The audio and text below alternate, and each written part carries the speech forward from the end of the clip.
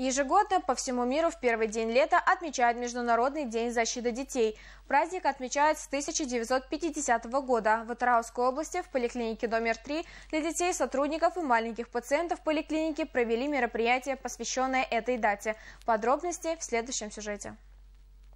Паровозик новогодний, он бежит, качается. День защиты детей по праву считается одним из старых праздников мира. В Казахстане празднование первого дня лета также является ежегодной традицией. Жительница города Атрау Мария Дангарова сегодня вместе с детьми также пришла на детский праздник, посвященный Дню защиты детей, который был организован в городской поликлинике номер 3. Нам нравится, деткам тоже. Просто присели отдохнуть. Погода немного жаркая, но ничего. Главное, очень весело, очень красочно, очень хорошо организовали. Спасибо большое. Для пациентов и их родителей администрация поликлиники номер 3 подготовила праздничную программу с концертом, конкурсами, куклами. Детей развлекали веселые аниматоры. Также были организованы подвижные игры, состязания по перетягиванию каната. Одна из главных целей сегодняшнего мероприятия – это привлечение внимания населения города к здоровью детей. Во время мероприятия врачи поликлиники также рассказывали детям и их родителям о правилах здорового питания, о том, какие меры профилактики необходимо применять каждый день для защиты от болезни.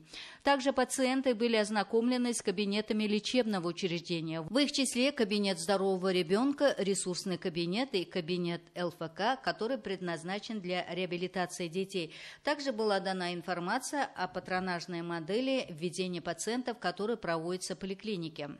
Э, всем известно, что данный 2022 год был объявлен годом ребенка, поэтому, естественно, наша поликлиника полностью проводит все те мероприятия работы для укрепления наших детей, здоровья детей, для улучшения э, вообще службы детства и родоспоможения.